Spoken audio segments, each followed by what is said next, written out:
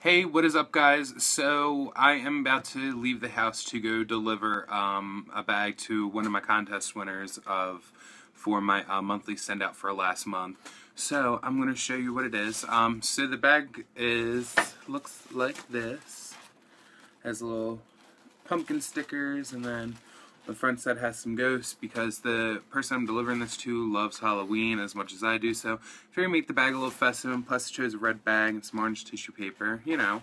So, I'm going to take that tissue paper out. So, one of the first things that she's going to get is a new um, fall winter catalog, you know, just has my label and some uh, rub and sniff sticker on the back of it. And then she is also getting um, she has a husband, so I'm including uh, a sample of the number 52 men's lotion. Um, what else is in here?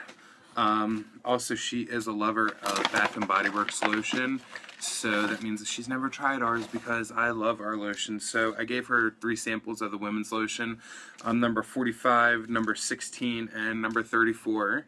Um, I'm also giving her um, a Welcome Home car bar, and then the main thing is the um, um, casting spells, which is the scent of this month, which smells.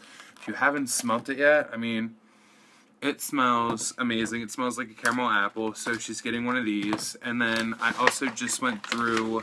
Um, all my testers from spring and summer to swap out for my fall and winter ones because I have a party tomorrow. So I'm giving her some discontinued testers. So uh, she's getting coconut flour, um, Shimmer, I love Shimmer. I don't know why I got discontinued. And then also uh, Lucky in Love. So yeah, all that is in her bag for winning a contest. Figured I'd share with you guys because I know I talked about um, what I was making my cards for monthly sendouts of. I'll hold a contest usually for that. So figured to show you what I put in there. Um, if you guys have any questions or anything, feel free to message me at any time. If I don't respond right away, trust me, I will respond as quick as I can. And I will see you guys later. Hope you have a wonderful day. Bye.